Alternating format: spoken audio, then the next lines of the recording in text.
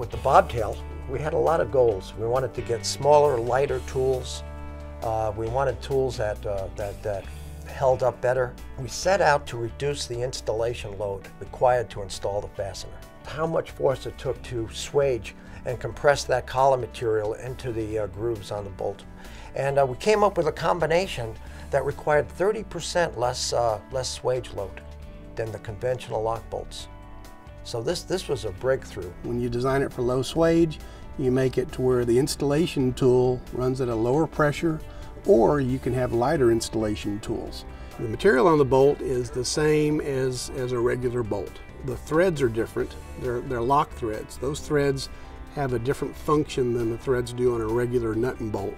The uh, bobtail groove is, is shallow. We don't need a deep groove because it doesn't have to have any tolerance fit with threads. We swage the collar in, so we have a very shallow groove, big root radius in there, and that gives us high fatigue strength. We're looking at five times the fatigue strength of a conventional thread. What's really important with a fastener is really the preload or clamp.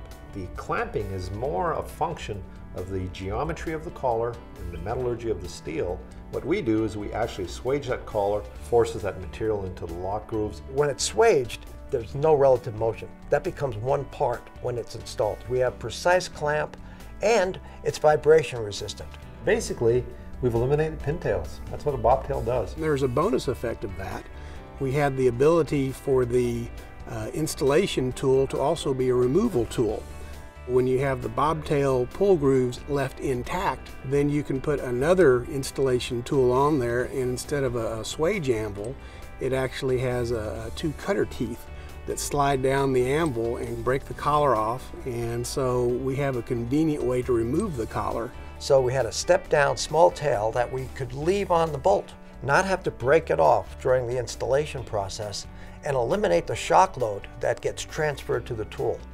And, and most tool wear issues are caused by the shock load of pin break. Once we eliminated the shock load, the, the, wear and tear on this tool was, was reduced. Our customers are experiencing about a 50% reduction in ongoing maintenance costs to their tooling system. We want to sell a complete package because at the end of the day, the customer is not just buying a fastener, he's buying an installation